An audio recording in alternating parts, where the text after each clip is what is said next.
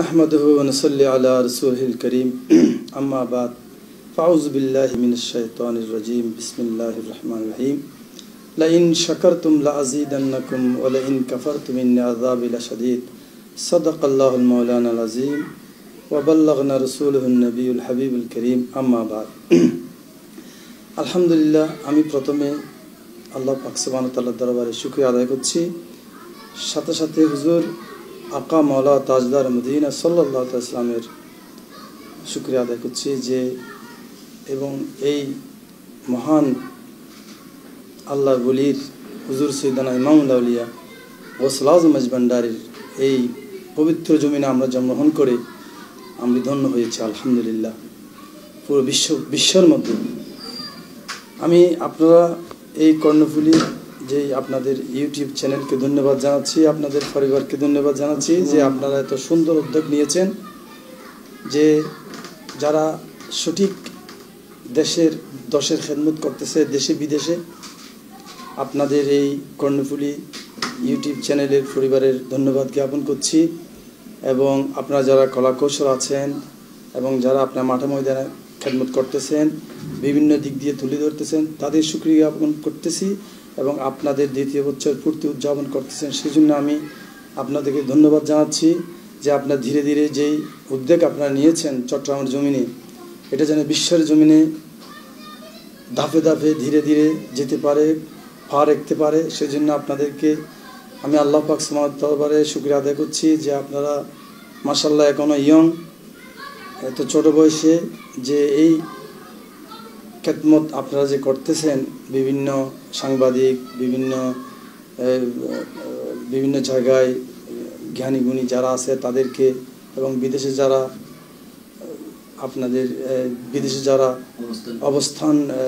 করতেছে বাংলাদেশের সুনাম অর্জন করতেছেন যে আপনারা যে এটা তুলে ধরতেছেন এটা একটা সুন্দর উদ্যোগ আপনারা নিয়েছেন সেই জন্য আমি আল্লাহ পাক দরবারে কোটি কোটি শুক্র আদায় করছি। এরপরে আজকে আমি আলহামদুলিল্লাহ বলতে হয়, কীভাবে আমি আসলে আমার জীবনের একটু আমি আপনাদের সাথে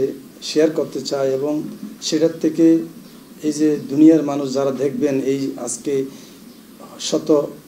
দেশ, শত হাজার লোক, কোটি লোক দেখবে এই চ্যানেল চ্যানেলের মাধ্যমে একটা জিনিস বলতে চাই। যদি আমরা একটা কোরআন আমি তো একটা প্রথমে কোরআন শুক্রিয়া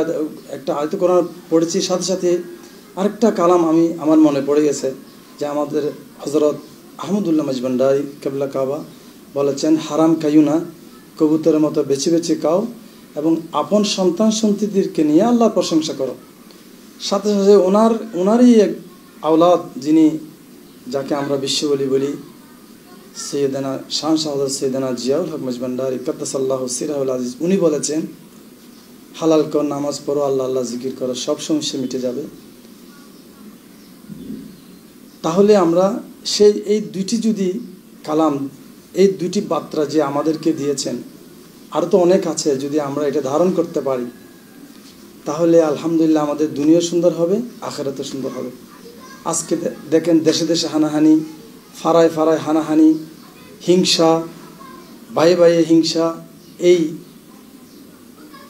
প্রতিটা পার্টি পার্টি হিংসা, যদি আমরা হিংসা যদি আমরা ছেড়ে দিই সত্যিকারভাবে যদি আমরা একে অপরকে যদি মহব্বত করি, প্রেম করি, তাহলে আমাদের সমস্যাটুকু, এই হাসদ যদি দূর করতে পারি, আমাদের দুনিয়া সুন্দর হবে আখেরাতে সুন্দর হবে। তাই আমি একটি হাদিস শরীফে বলতেছি, লা মহাব্বত আল্লাহ লিমাল্লা ইমানা।